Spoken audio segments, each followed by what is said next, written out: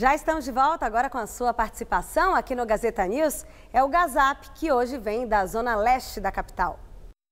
O nosso telespectador Davi Inácio Pereira denuncia um serviço que, segundo ele, foi mal feito por parte da prefeitura ali na Jardim Camargo Novo, na região do Itaim Paulista.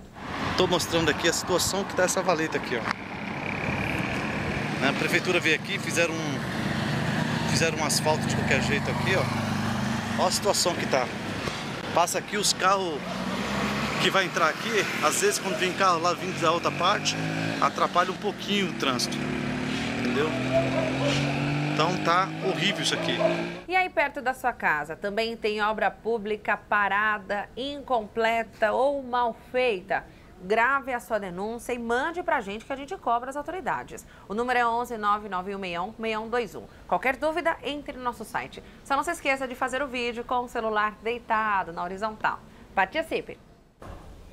Olha, de acordo com a Prefeitura Regional do Itaim Paulista, uma equipe foi hoje ao local e constatou o problema. Por isso, segundo a regional, o serviço vai ser realizado em breve.